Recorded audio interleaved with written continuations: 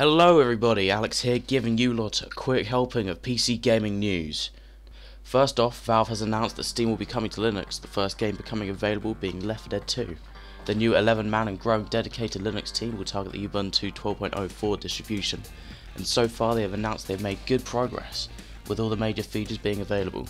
There's still a lot of work to do however and they'll be holding internal beta coming in the future and they are trying to implement Linux's open source nature into the Steam community attempting to bring a whole load of developers into the video game platform.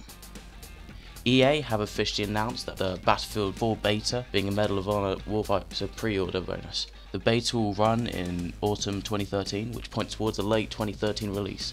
EA also announced earlier that pre-ordering the game won't be the only route into the beta, although it is currently the only method to guarantee an entry.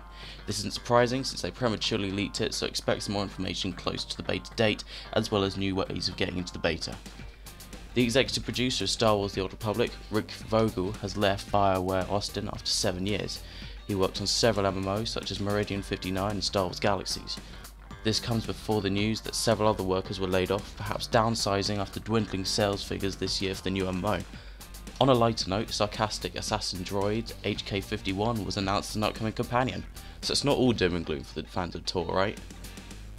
And finally, the Freedom Edition for Assassin's Creed has been detailed. For 80 quid you get the Lost Mayan Ruins DLC, George Washington's notebook, a steel bookcase, a new character for the multiplayer, as well as a 24cm statuette of Connor.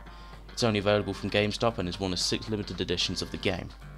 Anyway, that's it for now. For those wondering, I did not copy Champchong, despite how much you want to believe it, and I'll see you on Friday. Bye!